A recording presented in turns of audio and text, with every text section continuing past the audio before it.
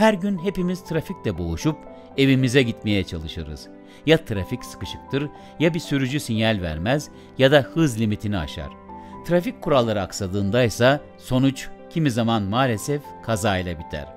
Trafikte Haklarım Derneği, trafik mağdurlarının doğru ve güncel bilgiye ulaşarak haklarını koruyabilmelerine yardımcı olmak, hakların iyileştirilmesi konusunda toplumsal ve hukuki farkındalık yaratmak için kuruldu.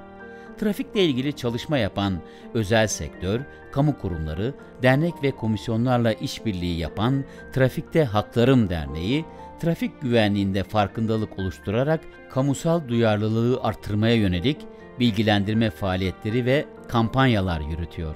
Trafikte Haklarım Derneği birlikte de.